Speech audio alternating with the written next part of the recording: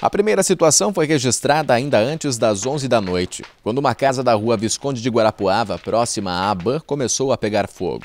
Bombeiros comunitários foram enviados para controlar as chamas que tomavam o imóvel, e em pouco tempo a situação foi controlada.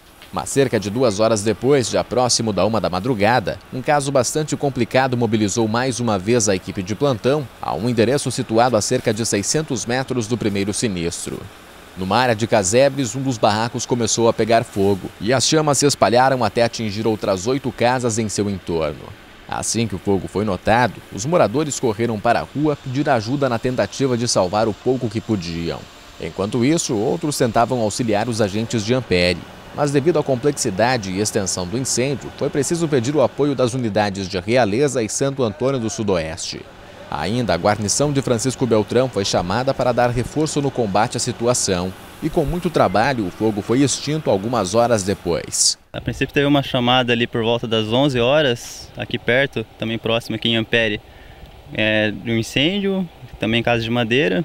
Ele foi combatido, extinto ali pelo PBC, pelo Posto de Bombeiro Comunitário de Ampere e apoio de Realeza. E assim que eles haviam terminado já, a gente recebeu outro chamado por volta da da uma hora da manhã já, que seria esse local aqui, esse novo incêndio. Além dos estragos que condenaram as residências atingidas, duas pessoas morreram carbonizadas. Elas estavam em uma das habitações e não conseguiram sair. Eu escutei os gritos da mulher, né? Eu me acordei, estava dormindo. Daí me acordei com aquele griteiro que ela fala, falando socorro, socorro, olha o fogo, olha o fogo. Gritava na janela e ela não conseguia Tava só com o corpo para fora da janela e não conseguia pular a janela. E a casa dela já estava começando? Já estava em chama, já estava uns 3 metros de altura pela janela. Assim. Daí foi, foi que daí eu não vi mais nada, daí acalmou aquela voz. Daí eu já fui tirando meu carro para fora, deu tempo de tirar o carro para fora. Tua casa foi atingida ou não? Queimou tudo, não sobrou nada. Queimou todos meus documentos.